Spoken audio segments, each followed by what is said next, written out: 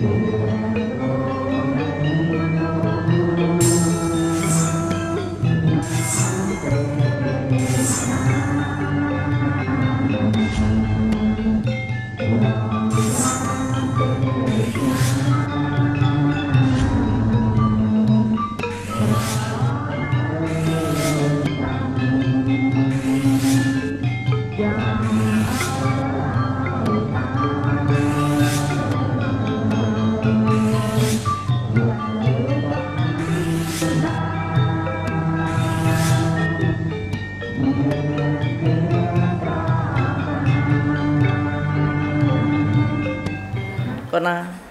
បឋមខ្ញុំកណ្ណានឹងខ្ញុំសូមនមស្ការអនកាយថ្វាយបង្គំដល់ព្រះពុទ្ធប្រធរប្រសង់ជាទីពឹងដល់ខ្ពងខ្ពស់ឧត្តមឧត្តមក្រៃលែងលើលោកនេះសូមនមស្ការអនកាយថ្វាយបង្គំដល់សម្ដេចមហាសង្ឃរាជចិត្តបតីទាំងពីរគណៈសម្ដេចព្រះសង្ឃយកព្រះសង្ឃយករងជាទីគោរពស្ក្រាក់ដល់ខ្ពងខ្ពស់សូមអនកាយថ្វាយបង្គំដល់ព្រះ មហាក្សត្រព្រះបរមនាថសីហមុនីជាទីគ្រប់ស្ការៈដល់ពងខ្ពស់សូមអោនកាយថ្វាយបង្គំដល់ព្រះមន្ត្រីសង្ឃគ្រប់ឋានានុក្រមទាំងអស់ពិសេសគុំចាស់គង់ទីនេះជាទៅប្តីជាទីគ្រប់ផងដែរហើយក៏សូមអោនកាយគ្រប់ដល់សម្ដេចថ្នាក់ដឹកនាំប្រទេសមានសម្ដេចតេជោក៏ដូចជាសម្ដេចត្រង់ឯកឧត្តមលោកជំទាវអលោកលោកស្រីពុទ្ធបរិស័ទទាំងអស់ ដែលតាមដានស្ដាប់នៅតាមគេអដ្ឋានក្តីនៅទីនេះក្តីទាំងក្នុងប្រទេសក្រៅប្រទេសហើយក៏សូមគោរពដល់លោកជំទាវហាក់ជូជាមយាបដែលបានជើញមកជាញឹកញាប់ក្នុងការស្ដាប់ប្រធរក៏ដូចជាការបំពេញបុណ្យកុសលផ្សេងផ្សេងនៅក្នុងពុទ្ធសាសនាយើងនេះបន្ទាប់នេះទៅពុទ្ធបរិស័ទយើងនឹងរួបរวมគ្នាស្ដាប់ប្រធរសិក្សាប្រធរតាមគម្ពីរបត្រៃបិដក ដែលប្រព្រឹត្តទៅនៅអគ្គតិកាពុទ្ធកសិក្សាជាតិនៃប្រជាណាចក្រកម្ពុជា លើកនេះគឺឈានដល់លើកទី725យើងសិក្សាពេលនេះគឺសិក្សានៅក្នុងរដ្ឋបាលសូត្រតែជាប្រសូតសំដែងឡើង នៅកុលបុត្រមួយរូប ដែលឈ្មោះថារដ្ឋបាលរដ្ឋបាលជាកូនដែលប្រកបដោយធម៌ជាអ្នកដែលមានឧបនិស្ស័យនៅក្នុងពុទ្ធសាសនាជាច្រើនជាតិហើយ ទៅបានពេលដែលចូលស្ដាប់លធម៌ប្រត់អមានប្រភាមានសទ្ធាជ្រះថ្លាក្នុងការសំបួសហើយសំបួសហ្នឹងគឺមេដាបេដាអត់ឲ្យទៀតយើងឃើញថាចំណន់រឿងកន្លងមកពីចំណន់ប្រពុតគង់នៅ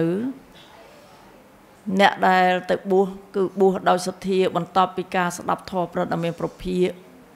ដោយមានការសង្វេគនៅក្នុងជីវិត សង្វេគនៅក្នុងវដ្តសង្សារ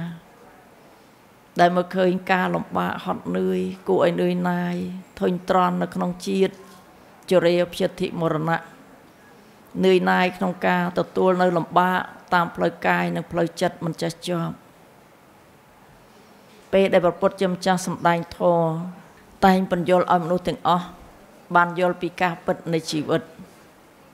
ជីវិតនេះប្រព្រឹត្តទៅក្នុងវដ្តសង្សារដ៏វែងឆ្ងាយ ទាំងព្រះអង្គក្តីទាំងយើងទាំងអស់គ្នាក្តីទាំងអគ្គសាវកនៃប្រដមេភិក្តីសុទ្ធតែទទួលរងនៅការលំបាកចំពោះបញ្ហាជីវិតនេះច្រើនជាតិណាស់អ្នកខ្លះក្នុងជាតិខ្លះក៏បានសុខច្រើនជាងទុក្ខអ្នកខ្លះក្នុងជាតិខ្លះក៏មានទុក្ខច្រើនជាងសុខអ្នកខ្លះក៏បានភាពជាមនុស្សភាពជាទេវតា អ្នកខ្លះក៏ស្ថិតក្នុងភាពនរកប្រែតដេរឆានអសូរកាយ ទៅតាមផលកម្មដែលខ្លួនបានសាងនោះឯងចឹងក្នុងឱកាសដែលយើងសិក្សាប្រធរដែលព្រះអង្គទ្រង់សម្ដែងធ្វើឲ្យយើងពិចារណាឃើញថាសក្តីសុខសបាយរីករាយនៅក្នុងលៀបយសសរសុខនេះ មានពិតមែននៅក្នុងโลกនេះប៉ុន្តែมันតាំងនៅมันឋិតនៅมันប្រព្រឹត្តទៅទៅតាមបង្កប់បញ្ជាចិត្តគំនិតរបស់យើងទេ គឺទៅតាមហេតុបច្ច័យដែលអាស្រ័យបំពេញកម្មជាខាងដើមនោះឯងចុះពេលដែលព្រះអង្គបានសម្ដែងប្រធរនេះ គឺធ្វើឲ្យអ្នកដែលមានឧបនិស្ស័យនៅក្នុងពុទ្ធសាសនា អ្នកដែលធ្លាប់សន្សំពូជបញ្ញា ពិចារណាឃើញនៅសភាវៈធម៌ប្រព្រឹត្តទៅស្ថិតក្នុងអនិច្ចំទុក្ខអនត្តា គឺធ្វើឲ្យមានចិត្តនេះឯងជ្រះថ្លារីករាយនៅក្នុងការចេញចាក់ផ្ទះដើម្បីសាងប្រភ្នោះ ប្រព្រឹត្តឲ្យរួចផុតចាក់ទុកនៅក្នុងវដ្តសង្សារនេះទោះបីថា អ្នកដែលមានសទ្ធាក្នុងពុទ្ធសាសនាទាំងបុគ្គលម្ចាស់ក្តី ទាំងយើងទាំងអស់គ្នាក្តីទាំងអ្នកដែលធ្លាប់បាន បំពេញការពីពុទ្ធគង់នៅក្តីអ្នកខ្លះក៏បានឆាប់រួចផុតចាក់ទុកទៅ អ្នកខ្លះក៏នៅកើតចាស់លិចលង់ក្នុងវដ្តសង្សារយូរអាច្រើនអនេកជាតិច្រើនកັບផែនដីតទៅទៀត ដោយសារតែការលះកិលេសនេះឯងពេលខ្លះក៏លះកិលេសបានតិច ពេលខ្លះកិលេសដែលបានលះហើយកើតមកវិញលះហើយកើតវិញលះហើយកើតវិញចប់រហូតទាំងមិនចេះមិនចេះហើយអញ្ចឹងឯងទៅធ្វើឲ្យនៅ នៅ ក្នុងវដ្តសង្សារនេះយូរដូចជាការព្រះអង្គគង់នៅ មានភិក្ខុម្នាក់ដែលគាត់បួសហើយ ទៅបួសហើយទៅសឹកមកវិញសឹកហើយបួសទៀត បួសហើយសឹកវិញសឹកហើយបួសទៀត4 5ដងតរំតែបានសម្រេចចឹងមានន័យថាកិលេសនេះ មានកម្លាំងខ្លាំងក្លាណាស់ដែលអាចទាញសត្វលោកឲ្យធ្លាក់នៅក្នុងវដ្តសង្សារនេះឯអ្នកដែលរួចផុតពីវដ្តសង្សារគឺមានចំនួនតិចណាស់ដែលព្រះអង្គសម្ដែងថា អ្នកដែលទៅត្រើយនាយគឺមានតិចភាកច្រើនគឺនៅត្រើយអាយនេះឯងដោយសារតែអីទៀត ដោយសារតែអីបានតែចានីទៅនៅត្រើយនាយនៅតរហូតព្រមទៅត្រើយអាយព្រះអង្គសម្ដែងថាដោយសារទិដ្ឋិនេះឯងទិដ្ឋិនេះគឺសំដៅទៅលើមច្ឆាទិដ្ឋិទេណាចាអញ្ចឹងដើម្បីឲ្យពុទ្ធបរិស័ទលោកបានយល់នៅក្នុងប្រសូតដែលរដ្ឋបាល មានការពេញចិត្តចង់បួសឲ្យឪពុកម្ដាយមិនឲ្យបួសដោយសារហេតុយ៉ាងណាយ៉ាងណានោះខ្ញុំកណាសម្រាប់នាមគុណចាស់ព្រះអង្គជាវសៀងសម្បត្តិ សូមព្រះអង្គមេត្តាអាននិងសង្ខេបដោយអនុគ្រោះទៅណាសូមអនុមោទនាខ្ញុំប្រកាសរណាសូមនមស្ការថ្វាយបង្គំចំពោះព្រះរតនត្រ័យដោយសេចក្តីគោរពជ្រះថ្លាដល់ក្រៃលែងសូមនមស្ការថ្វាយបង្គំចំពោះសម្ដេចព្រះអគ្គមហាសង្ឃរាជា ទាំងពីរគណៈ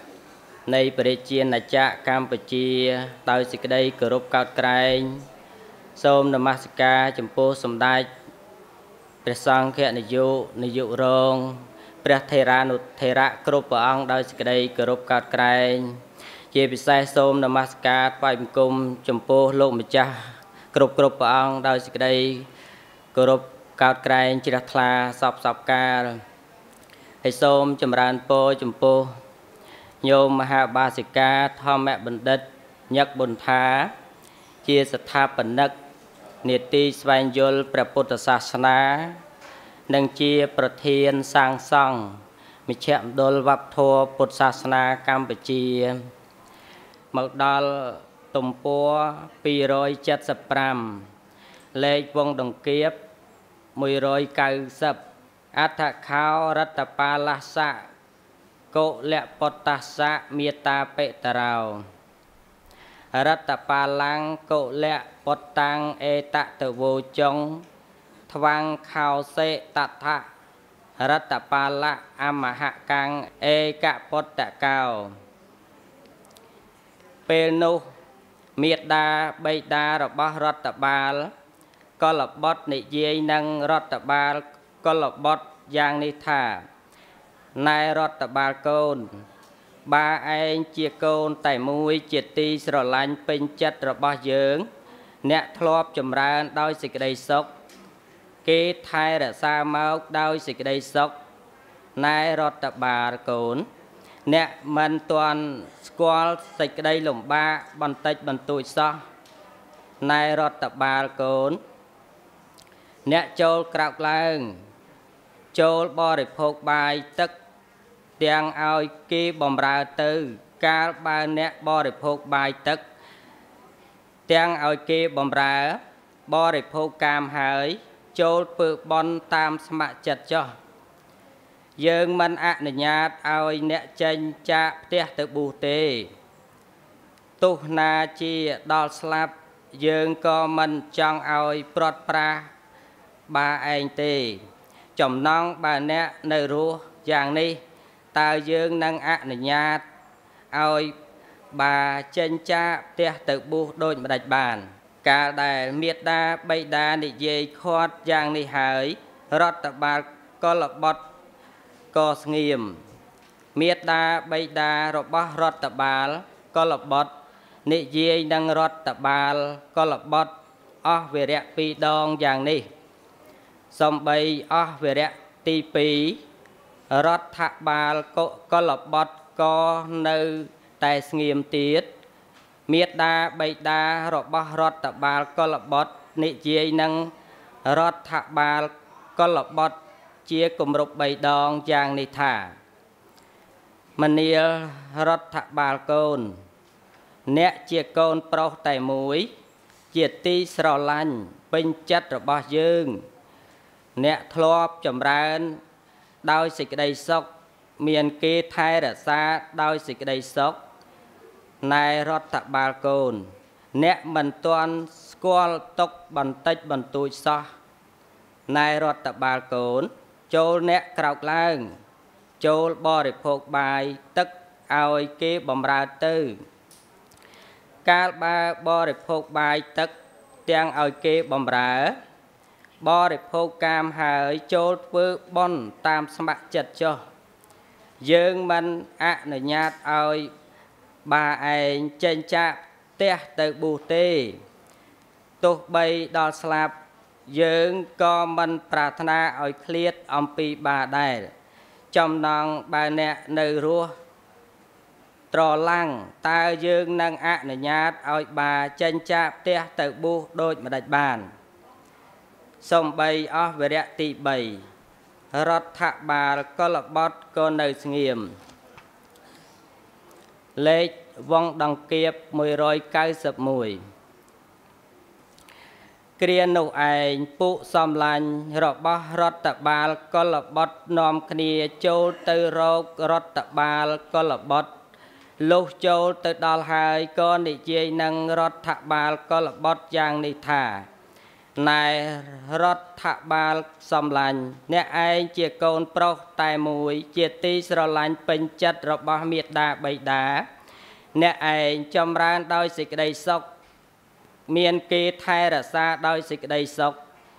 ណែរដ្ឋបាលសំឡាញ់អ្នកមិនតន់ស្គាល់ຕົកបន្តិចបន្តួចសោះណែរដ្ឋបាលសំឡាញ់អ្នកចូលក្រោកឡើង ចូលបរិភោគបាយទឹក ទាំងឲ្យគេបំរើទៅ កាលបើអ្នកបរិភោគបាយទឹកទាំងឲ្យគេបំរើបរិភោគនៅកាមហើយ ចូលពើបន់តាមស្ម័គ្រចិត្តចុះមេដាបៃតាមិនអនុញ្ញាតឲ្យអ្នកចេញចាកផ្ទះទៅប៊ូទេទោះណាជាដល់ស្លាប់ក៏មេដាបៃតាមិនប្រាថ្នាឲ្យឃ្លាតពីអ្នកដែរចំណងបើអ្នកនៅរស់យ៉ាងនេះ តើមេដាបៃតានឹងអនុញ្ញាតឲ្យចេញចាកផ្ទះទៅប៊ូដូចម្ដេចបាន កាលដែលពួកសម្លាញ់និយាយយ៉ាងនេះហើយរដ្ឋបាលកលបុត្រក៏នៅស្ងៀមទៀតសំបីអស់វរៈជាគម្រប់ពីរដង ពួកសម្លាញ់របស់រដ្ឋបាលកលបុត្របាននិយាយនឹងរដ្ឋបាលកលបុត្រជាគម្រប់3ដងយ៉ាងនេះថា ណែរដ្ឋបាលសម្លាញ់អ្នកឯងជាកូនប្រុសតែមួយជាទីស្រឡាញ់ពេញចិត្តរបស់មេដាបៃតាអ្នកធ្លាប់ចម្រើនដោយសេចក្តីសុខគេបីបាច់មកដោយសេចក្តីសុខណែរដ្ឋបាលសម្លាញ់អ្នកចូលក្រោកឡើង ចូលបរិភោគបាយទឹក ទាំងឲ្យគេបំបំរើទៅ កាលបើអ្នកបរិភោគបាយទឹក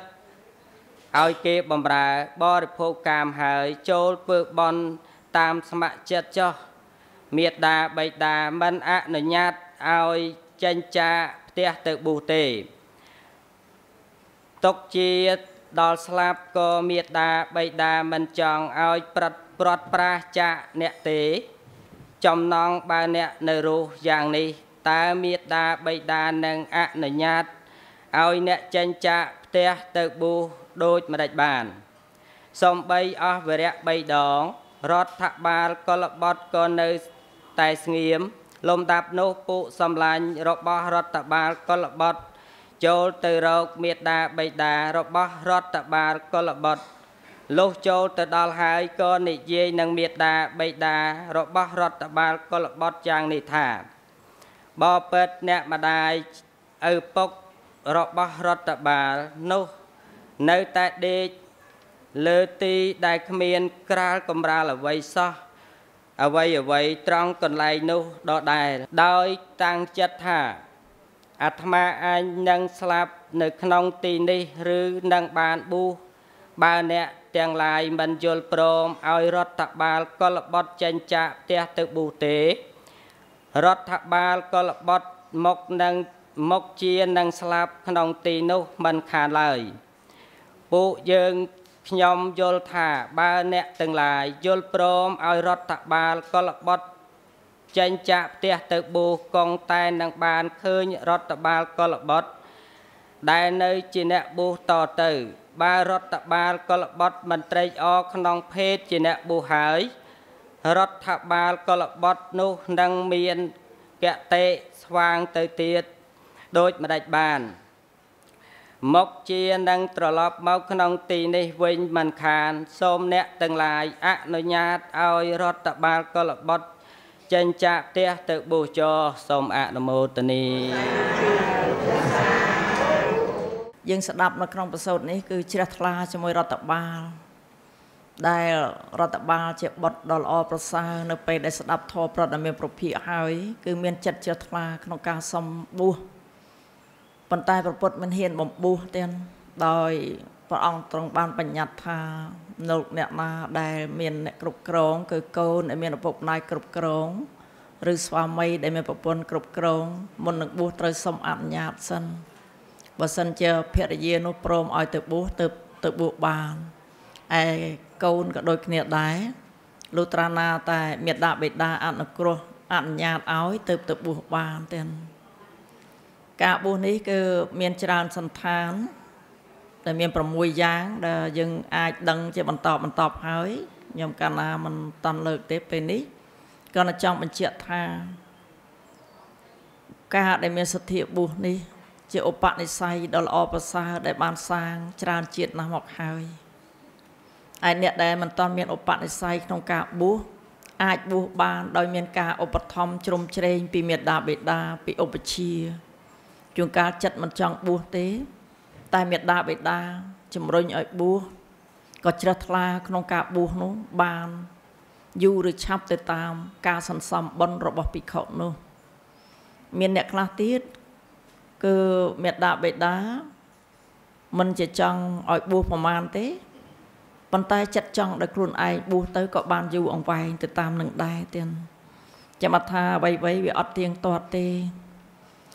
ចឹងបានពុទ្ធបរិស័ទយើងខ្លះពេញចិត្តប្រសង់ដែលលោកត្រត្រង់ធម៌វិន័យអីហ្នឹងគឺខំផ្គត់ផ្គង់ឧបត្ថម្ភ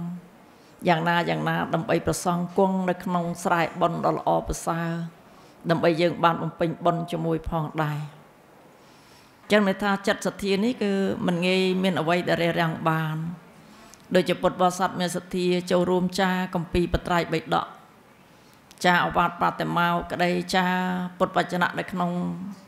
ថ្មក្រានីតនេះ មានពុទ្ធបរិស័ទខ្លះលោកមានប្រសាសន៍ត្រង់ចឹងថាខ្ញុំមិនមានលុយច្រើនទេគឺសុំបងរំលោះហើយមួយខែ30ដុល្លារចាំពេលដែលកូនគេឲ្យលុយចាយមកសន្សំចាយខ្លះទៅ ទុកខ្លះយកមកបងបន្តបន្តរាល់ខែទៅហើយជួនកាលគាត់មានប្រសាសន៍ទៀតថាកូនគេថាហើយថាម៉ែខ្ញុំជូនលុយទុកម៉ែប្រសាទៅ មិនបាច់យកទៅធ្វើបុណ្យអីទេអញ្ចឹងគាត់ថាគាត់លួចមិនហ៊ានប្រាប់កូនថាគាត់មកយកលុយមកចាកាពីទេខ្លាចកូនគេអន់ចិត្តខ្លាចកូនគេបាបព្រោះកណាបើគេអត់សទ្ធាជាមួយនាំឲ្យគេបាបអញ្ចឹងមានចិត្តសទ្ធាមុតមមនៅពុទ្ធសាសនាគឺចង់បានបុណ្យដោយខ្លួនឯងហើយមិនចង់ឲ្យកូនបាបទៅទៀតនេះជាចិត្តមេត្តាករុណារបស់កូនទាំងតែភាកច្រើនមិនអញ្ចឹងទេណាភាកច្រើនគឺមកទាំងអស់គ្នាចា ទាំងម្ដាយទាំងកូនមកថតរូបនៅទីនេះនៅពេលដែលចាកពីត្រៃបដកឬចូលមហាប្រាសាទអីគឺតែងថតរូបនៅទីនេះជុំគ្នាដើម្បីទុកជាឯកសារបញ្ជាក់ឲ្យឃើញថានេះបានចូលចាកំពីបត្រៃបិដកចូលកសាងមហាប្រាសាទដើម្បីបូជាចំពោះប្រតនត្រ័យសម្រាប់ជាបុណ្យកុសល ក្នុងជីវិតចុងក្រោយរបស់ម្នាក់ម្នាក់ព្រោះអ្នកណាក៏មានចុងបញ្ចប់ដែរទៀតគឺចុងបញ្ចប់នោះមានតែស្អីគេសេចក្តីស្លាប់នេះឯង ចឹងពេលដែលស្លាប់ទៅនោះពុំមានយកអ្វីទៅតាមក្រៅពីផលបុណ្យផលបាបម្លោះហើយម្នាក់ម្នាក់ខំប្រឹងសន្សំបុណ្យនៅពេលចុងក្រោយនេះព្រោះថាជីវិតយើងមិនទៀងទាត់ទេមិនដឹងថាស្លាប់ថ្ងៃណាចឹងមានតែការបំពេញបុណ្យនេះឯងជាទីពឹង ជាបុណ្យកុសលត្រត្រង់ផង ជាបុណ្យកុសលឧបការៈឲ្យទៅជាតិមុខមុខផងហើយក្នុងសទ្ធាក្នុងការបួសសិក្សាប្រធរដែលរដ្ឋបាលកុលបុត្រមានសទ្ធាមុតមមនេះ មិនមែនជាការបួសក្រំតែល្អមើលទេ មិនមែនជាការបួសបណ្ដោះអាសន្នឬក៏មួយរយៈទេ គឺជាការដែលចេញចាក់ភ្នោះចេញចាក់ផ្ទះដើម្បីបួសសម្រាប់ត្រាស់ដឹងរិទ្ធសច្ចធម៌តើមានអត្តន័យយ៉ាងណាយ៉ាងណានោះខ្ញុំកណាសម្រាប់នាមគុណចាស់ព្រះអង្គប្រណិមជាបុណ្យហៀងសូមព្រះអង្គមេត្តាជួយ បញ្ជាក់បន្ថែមនៅក្នុងអត្តន័យនេះមានអត្តន័យយ៉ាងណាសូមពុទ្ធបរិស័ទបង្អោនចិត្តស្ដាប់ដោយគោរពទៅណាសូមអនុមោទនាខ្ញុំប្រកាសរណាសូត្រនមស្ការកាថ្វាយបង្គំចំពោះព្រះរតនត្រ័យមានព្រះពុទ្ធរតនៈព្រះធម្មរតនៈនិងព្រះសង្ឃរតនៈដែលជារតនៈដ៏ឧត្តមឧត្តមប្រសើរពងពោះលើលោកនិងសូមនមស្ការកាត់បាច់បង្គំចំពោះសម្ដេចសង្ឃទាំងពីរគណៈ និងមន្ត្រីសង្ឃគ្រប់ឋានានុក្រមទាំងអស់និងសូមនមស្ការកាត់បាយបង្គំចំពោះលោកម្ចាស់គ្រប់រូបទាំងអស់ដែលមានប្រវត្តិមាននៅក្នុងនទីស្វែងយល់នេះទាំងមូលហើយសូមចម្រើនពរដល់ញាតិញោមពុទ្ធបរិស័ទគ្រប់គ្នាដែលមានសទ្ធាជ្រះថ្លាមកស្ដាប់សារនៅព្រះធម៌នៅក្នុងទីនេះផងដែរ ជាពិសេសសូមចម្រើនពរដល់ញោមមហាឧបាសិកាធម្មបណ្ឌិតញឹកបុនថាហើយខ្ញុំប្រកាសណាក៏សូមឱកាសពីសំណាក់លោកម្ចាស់គ្រប់រូបដើម្បីបានឱកាសចូលរួមសម្ដែងទៅនៅក្នុងប្រសូតដែលគណៈកូនចាស់បានអានបាញ់បាញ់នេះ គឺឈ្មោះថារដ្ឋបាលសូតរដ្ឋបាលសូត ដែលញាតិញោមបានសិក្សានៅតាមរយៈគម្ពីរបត្រៃបិដកណាជាបន្តបន្តមកដែលតកតងរឿងរ៉ាវនិងរដ្ឋបាលណាតកតងរឿងរ៉ាវរដ្ឋបាលដែលរដ្ឋបាលនឹងចង់បួសណារដ្ឋបាលនឹងចង់បួសហើយរដ្ឋបាលនឹងមិនមែនសុកសុកអីចង់បួសនោះទេ គឺដោយសារតែការស្ដាប់នៅធម៌មីកថារបស់ព្រះសម្មាសម្ពុទ្ធ ដែលព្រះអង្គពុទ្ធដំណើរទៅក្នុងដែនកុរៈបានទៅដល់ថលកោតកនិគមនឹងព្រះអង្គសម្ដែងឲ្យពួកព្រាមក៏ដូចជាកហបតីនឹងស្ដាប់ណាឲ្យព្រាមក៏ដូចជាកហបតីនឹងស្ដាប់ហើយក្នុងនោះក៏មានរដ្ឋបាលហ្នឹងស្ដាប់នៅធម៌មីកថារបស់ព្រះសម្មាសម្ពុទ្ធដែរណាស្ដាប់ធម៌មីកថារបស់ព្រះសម្មាសម្ពុទ្ធដែរគ្រាន់តែស្ដាប់ហើយភ្លាមចិត្តរបស់ខ្លួនឯងហ្នឹងចង់បួសណា កើតគំនិតមកល្អមកញាតិញោមពុទ្ធបរិស័ទគិតថាប្រមចរិយធម៌នេះមិនមែនជាការប្រព្រឹត្តទៅសពគ្រប់បរិបូររបស់អ្នកនៅគ្រប់គ្រងផ្ទះទេតអ្នកចេញចាក់ទេឲ្យទៅបួសมันអាចប្រព្រឹត្តនៅប្រមចរិយធម៌នេះឲ្យបរិបូរទៅបានកើតគំនិតនឹងកើតឡើងហ្មងដោយសារតែយល់ យល់នៃការប្រព្រឹត្តនៅប្រមចរិយធម៌របស់ព្រះសម្មាសម្ពុទ្ធហ្នឹងអញ្ចឹងខ្លួនពេលដែលពួកព្រាមនិងខបដីនឹងចេញទៅបាត់ក៏ទៅសូមព្រះមានប្រភិយដើម្បីបានបពជានិងឧបសម្បទាណាសូមព្រះមានប្រភិយទៅមិនបានដូចបំណងអីភ្លាមភ្លាមទេណា ក៏មានភាឲ្យទៅសូមមេដាបិតាហើយពេលដែលខ្លួនដឹងអញ្ចឹងក៏ទៅសូមមេដាបិតាហ្នឹងដើម្បីខ្លួននឹងបានបួសសូមអញ្ចឹងទៅទឹកចិត្តរបស់មេដាបិតាហេតុតែស្រឡាញ់កូនណាហេតុតែស្រឡាញ់កូនចង់ឲ្យកូននឹងស្រួលណាចង់ឲ្យកូននឹងស្រួលដែលគាត់គិតថាការដែលចេញចាក់ផ្ទះទៅបួសនឹងលំបាកណាស់លំបាកណាស់ព្រោះថា អ្នកបួសញាតិញោមពុទ្ធបរិស័ទដឹងស្រាប់ហើយណាកាន់បាតហើយត្រាច់ទៅបិណ្ឌបាតរាល់រាល់ថ្ងៃអីចឹងទៅអីមានការដេកតែមួយពេលឆាន់តែមួយពេលអីចឹងទៅ វាលំបាកយ៉ាងក្រៃលែងណាស់បានន័យថាមិនមាន ការសបាយអីទៅក្នុង កាមគុណអីឲ្យបរិបូរដូចជា ក្រហោះទៅនឹងបានទេដោយសារតែគិតថាខ្លាចកូនរបស់ខ្លួនលំបាកអញ្ចឹងហើយមេដានឹងមិនបានអនុញ្ញាតឲ្យរដ្ឋបាលនឹងបួសទេហាមជាគម្រប់2ដងផង3ដងផងរដ្ឋបាលនៅតែចចេះថាចង់បួសដដែលណាហាមសូមអង្វរមេដាបិតានឹងអត់ស្ដាប់ក៏អត់បាយខ្លួនឯងទៅញាតិញោមពុទ្ធបរិស័ទអត់បាយ2ពេល3ពេលរ ហូតដល់6ពេល7ពេលដេកដួលលើផែនដីអត់មានកម្រាលអីសោះដេកដួលហ្នឹងអញ្ចឹងមេដាបេដាហ្នឹងក៏ទៅសូមទៅ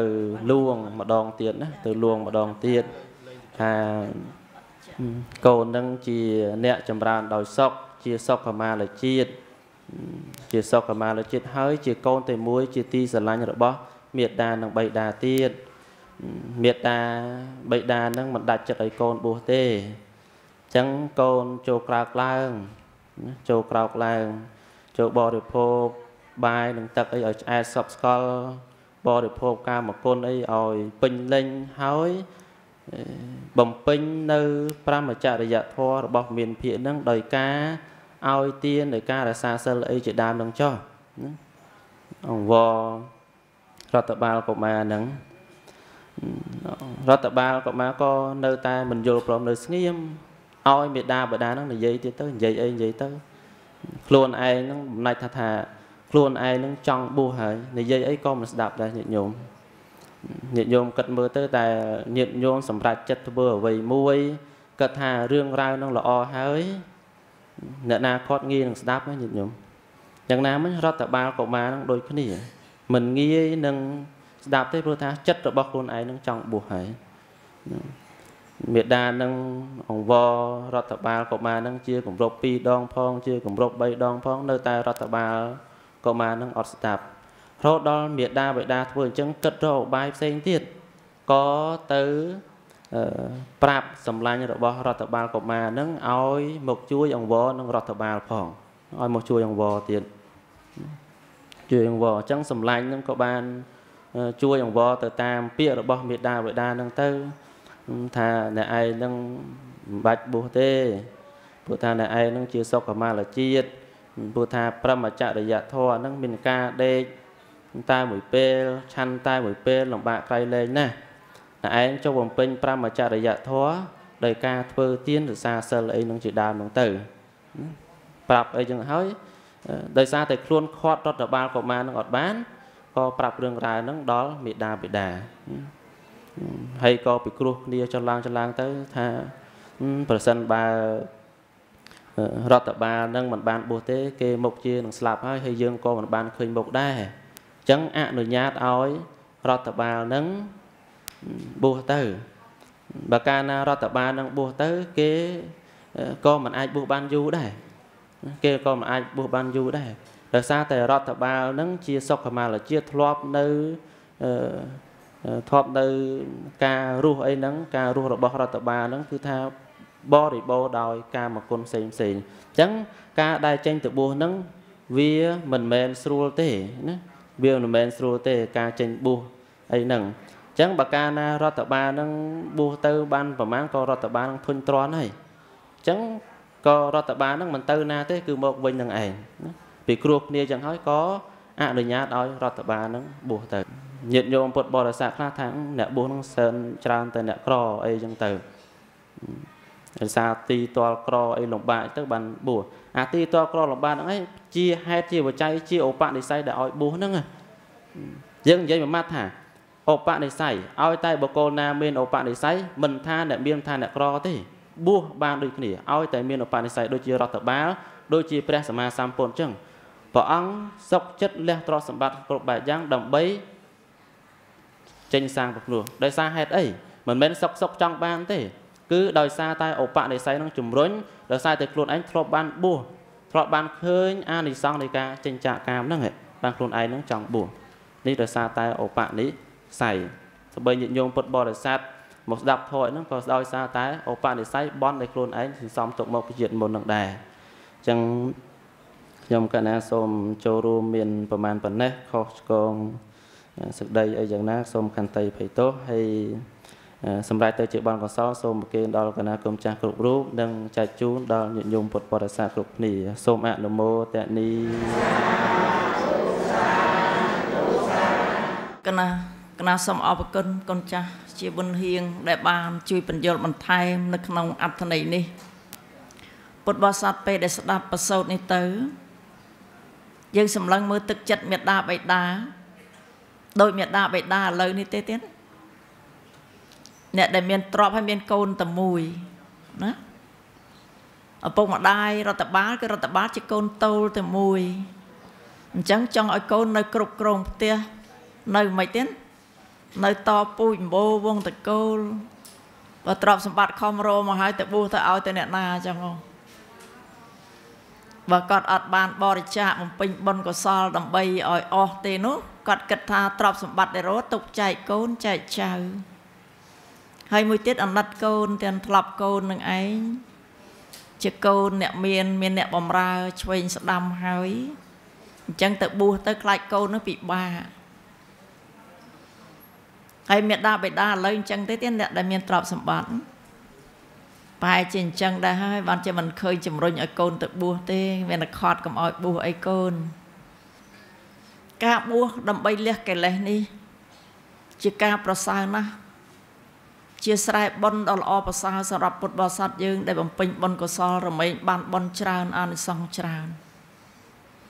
មេដាបេដារបស់រដ្ឋបាល ដែលរដ្ឋបាលបានសុំនោះគាត់អង្វរកូនច្រើនដងណាស់ ហេតុអីបានគាត់អង្វរកូនច្រើនដងច្រើនសារមកពីអីទៀតមកពីអីឥឡូវយើងទាំងអស់គ្នានឹងមកពីអីស្រឡាញ់កូនអត់ហ្នឹងហើយមកពីស្រឡាញ់មកពីហួងហែងជាប់ជំពាក់ចង់ឲ្យកូននឹងនៅចិត្តខ្លួនឯងនឹងឯងកុំឲ្យទៅណាព្រឹកក៏ឃើញកូនល្ងាចក៏ឃើញកូនអញ្ចឹងមែនទេហើយចង់ឲ្យកូននឹងឯងជួយទ្រទ្រង់ ក្រុមគ្រួសារវងតកូលពូជបោឲ្យបានល្អព្រមទាំងចង់ឲ្យកូននឹងឯងជួយមើលថែពេលដែលខ្លួនចាស់ទៅមេដាបេដាគ្រប់រូបតែងពឹងថាសង្ឃឹមថាពេលចាស់ទៅ សង្ឃឹមលើកូនមែនអត់ចាពេលដែលមានកម្លាំងរកខំរកចិញ្ចឹមអ្នកណា ចិញ្ចឹមកូនអត់មានចិញ្ចឹមអ្នកណាក្រៅពីកូនទេ ហើយគិតថាឲ្យកូនទៅរៀនសូត្រ លុយកាក់ដែលផ្ដល់ឲ្យកូនដោយសារតែកម្លាំងញើសឈាមរបស់ខ្លួនឯងដែលខំរកនេះ គឺចង់ឲ្យកូនមានអនាគតល្អចង់ឲ្យកូនคลายទៅជាទំពាំងស្នងរស័យហើយចង់ឲ្យកូនប្រព្រឹត្តទៅ នៅក្នុងភាពជាមនុស្សដ៏ល្អខ្ពង់ខ្ពស់អដងអដំចាអញ្ចឹងមេដាបេដាពេលដែលគិតយ៉ាងនេះតែងរំពឹងដល់សង្ឃឹមថាពេលចាស់ទៅ បានកូននឹងឯងជួយ ពេលឈឺជាទឹកក្តៅទឹកត្រជាក់ ពេលទៅពេទ្យពេលរកថ្នាំពេលដែលខ្លួនចាស់ទៅធ្វើអីមិនបានកូនជួយការងារនេះគឺជាទូទៅព្រះអង្គសម្ដែងអញ្ចឹងទាំងមេដាបេដាតែងគិតអញ្ចឹងប៉ុន្តែការគិតរបស់គាត់នឹងបានសម្រេចទាំងអស់ទេឬក៏អត់ចាមានលោកអ្នកខ្លះដែលមានសំណាង ផលបុណ្យកូនប្រកបដោយធម៌ទៅក៏បានដូចបំណងប្រាថ្នាអញ្ចឹងទៅ តែមេដាបេដាខ្លះក៏ខកចិត្តដោយសារកូនដែរ ប្រកូនខ្លះមិនបានបំពេញភារកិច្ចទូនាទីជាកូនដើម្បីមើលថែឪពុកម្ដាយទេបែរទៅជាយ៉ាងម៉េចទៀតបែរទៅជាបំផ្លាញមេដាបេដាដោយការយកប្រាក់កាសពីគាត់មិនចូលសាលារៀនទៅចាយប្រទេសផ្ដាស់ផ្សេងផ្សេងកូនខ្លះមិនមែនត្រឹមតែមិនចូលសាលាទេ ទៅសើបគប់ជន់ពីលកើតជាបងធំបងតូច ស្រីស្រាលបែងគ្រឿងញៀនបង្កការភ័យខ្លាចដល់អ្នកដតីបង្កវិបត្តិកើតឡើងដល់សង្គមជាច្រើនផ្នែកបង្កអីទៀតទៀតបង្កគ្រោះថ្នាក់ចរាចរណ៍បង្កឃាតកម្មដែលកើតឡើង អំពីការដែលបាត់បង់ស្មារតីស្មារតីនៅពេលដែលផឹកស្រាឬក៏ផឹកគ្រឿងញៀននេះឯងពេលដែលមេដាបេដាអស់សង្ឃឹមតើគាត់និយាយថាម៉េច យ៉ាឥឡូវនេះគាត់និយាយថាម៉េចទេស្ដាប់សូរទៅមានទេដែលឮទេខ្ញុំឮនឹងតិចអឺគាត់ថាខ្ញុំមិនសង្ឃឹមទេកូនឥឡូវនេះនោះ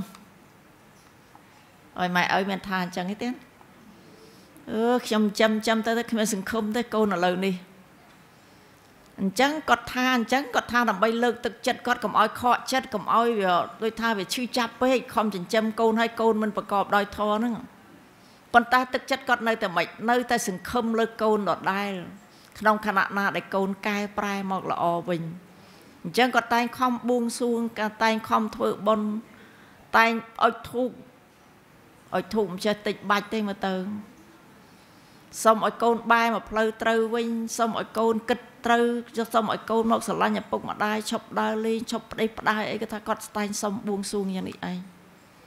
ដោយសារតែគាត់បានសង្ឃឹមតាំងពីកូនចាប់លើផ្ទៃមកគឺចាប់ចិញ្ចឹមពីតូចមកគឺស្រឡាញ់កូនហើយពឹងលើកូនវិញនៅពេលដែលចាស់ទៅចឹងនៅក្មេងខំរោចិញ្ចឹមកូនដល់ចាស់ទៅមានខំរោបានដូចក្មេងណាគឺត្រូវសង្ឃឹមលើកូននឹងឯងចឹងកូនប្រុសស្រីត្រូវតែគិតថាមេដាបៃតាស្រឡាញ់ណាស់ទោះបីកូនធ្វើខុសយ៉ាងណាក៏ដោយក៏នៅតែលាក់លៀមការពារកិត្តិយសកូនមិនឲ្យគេដឹងក្នុងខណៈដែលគេដឹងហើយ ក៏នៅតែគិតស្រឡាញ់កូនហើយសង្ឃឹមថាកូនបែរមកផ្លូវត្រូវវិញនៅថ្ងៃណាមួយមិនខានចឹងបានជាគាត់និយាយលួងចិត្តគាត់ថាខ្ញុំមិនសង្ឃឹមទេកូនឥឡូវនេះដើម្បីកុំឲ្យចិត្តគាត់នឹងខកចិត្តតទៅទៀតប៉ុន្តែគាត់នៅតែគិតថាសូមឲ្យកូននេះបែរមកផ្លូវត្រូវវិញចឹងមេដាបេដារបស់រដ្ឋបាលនេះ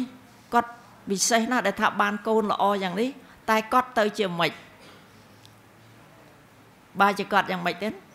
បើជាគាត់ខត់កូនមិនឲ្យទៅបួសទៅវិញដោយសារការស្រឡាញ់ជាប់ជំពាក់នេះឯងអញ្ចឹងការហួងហែងជាប់ជំពាក់នេះទោះបីថា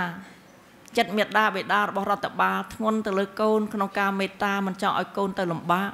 តែมันអាចទប់ចិត្តរដ្ឋបាលបានទេ ដោយសារតែមានសទ្ធាជ្រះថ្លាមុតមមនៅក្នុងប្រតនត្រ័យដូចជាយើងទាំងអស់គ្នា យើងមើលមើលទៀត ដែលយើងកសាងមជ្ឈមណ្ឌលដោយពុទ្ធបរិស័ទអញ្ជើញមកបន្តបន្តដែលយើងខ្ញុំជួបគួសមបណ្ដាបណ្ដាបន្តបន្តមកតាមខេត្តតាមស្រុកហើយនឹងលោកអ្នកនៅទីក្រុងភ្នំពេញនេះជាដើមសួរថាតើដែលគាត់អាចឈានជើងមកដល់នេះដោយសារអីទៀតដោយសារសទ្ធាជឿបុណ្យជឿបាបនេះឯងចាបុណ្យបច្ចុប្បន្នសិលា និងបុណ្យផ្កាសាមគ្គីកសាងមហាចលាមនៃចិត្តដីកដាលសម្រាប់បូជាចំពោះប្រតនត្រ័យខ្ញុំប្រកាសអនាអាត្មាភាពគណៈសង្ឃនាយកនៃប្រជាណាចក្រកម្ពុជា រួមជាមួយមហាបាសការធម្មដិតញឹកមន្ថាព្រមទាំងអិសរជនសពរស់ជន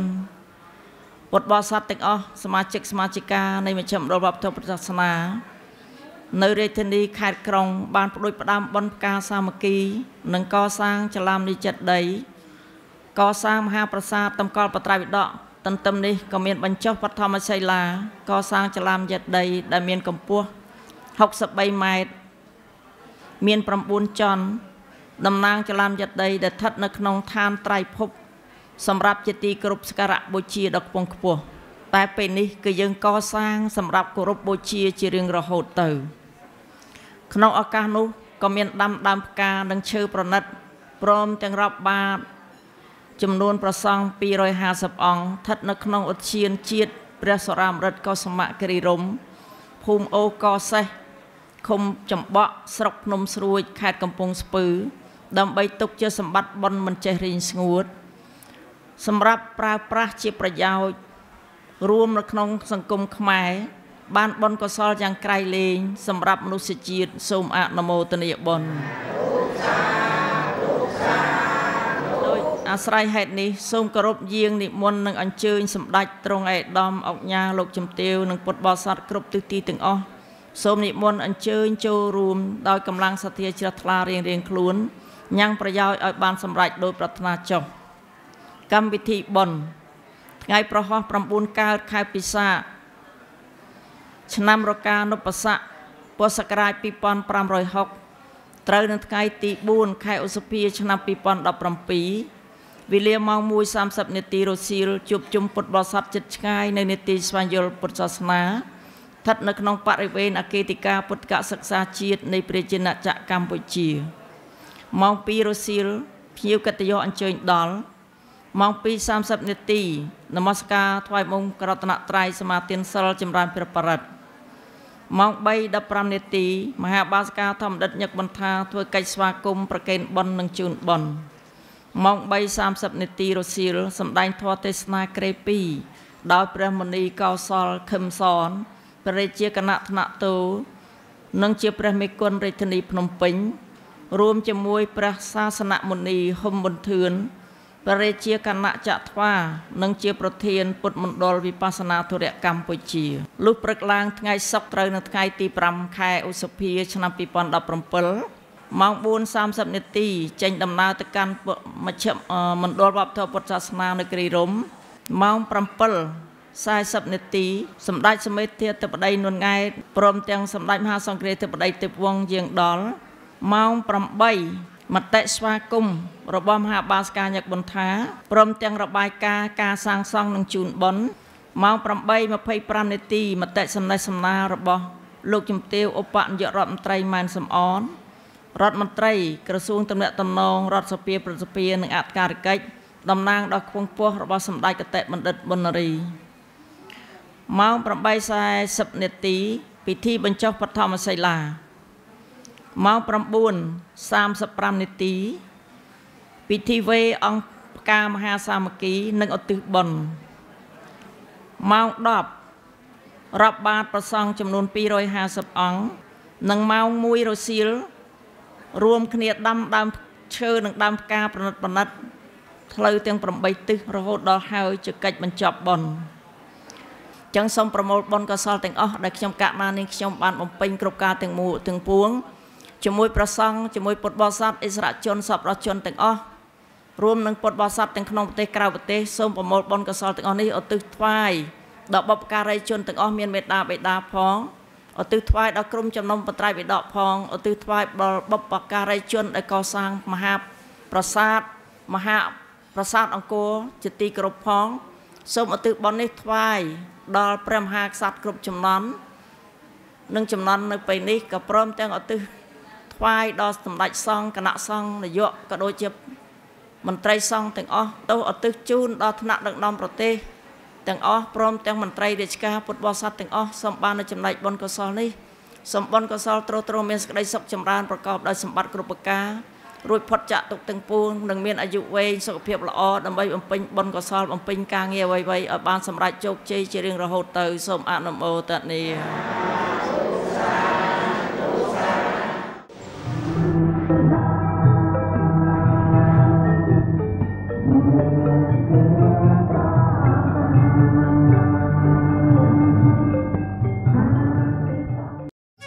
ជ្ឈមណ្ឌលវប្បធម៌ពុទ្ធសាសនាកម្ពុជា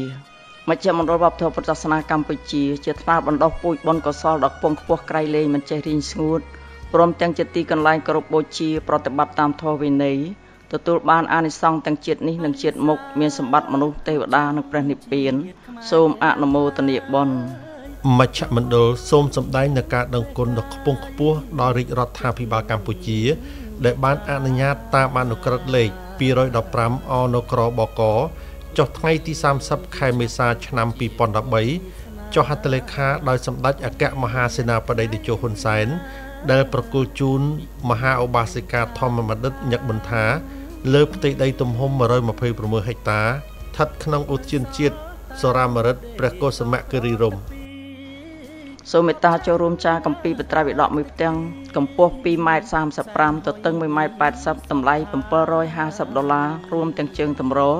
ព្រមទាំងចូលរួមកសាងមហាប្រាសាទតម្កល់បត្រៃវិដកកំពុងសាងសង់បើគិតពីគ្រឹះក្រោមដល់ដំបូលលើ1ម៉ែត្រការ៉េតម្លៃ585ដុល្លារបើគិតពីគ្រឹះក្រោមដល់ជញ្ជាំង1ម៉ែត្រការ៉េតម្លៃ385ដុល្លារ ពុទ្ធបរិស័ទអាចចូលរួមជីវជាសសរបសបុកក្បឿងដែកខ្សាច់ស៊ីម៉ងនិងថវិកាតាមសទ្ធាជ្រះថ្លារៀងៗខ្លួនសូមព្រះសង្ឃសពរស់ជនពុទ្ធបរិស័ទទាំងក្នុងនិងក្រៅប្រទេសមេត្តាសាមគ្គីចូលរួមចាប់មគ្គផលកសាងមជ្ឈមណ្ឌលវប្បធម៌ពុទ្ធសាសនាកម្ពុជាទុកជាសម្បត្តិវប្បធម៌ជាតិក្នុងព្រះពុទ្ធសាសនាគោរពបូជាដោយប្រទេសដែលកាន់ព្រះពុទ្ធសាសនានានាលើពិភពលោកអាសយដ្ឋានស្ថិតនៅអគារធិការដ្ឋានពុទ្ធិកសិក្សាជាតិ នៃព្រះរាជាណាចក្រកម្ពុជា ខាងត្បូងក្រសួងធម្មការនិងសាសនានិងនៅមជ្ឈមណ្ឌលបព្វធម៌ព្រះពុទ្ធសាសនាគិរីរម្យផ្ទាល់សូមទំនាក់ទំនងលេខទូរស័ព្ទតាមរយៈកញ្ចក់ទូរទស្សន៍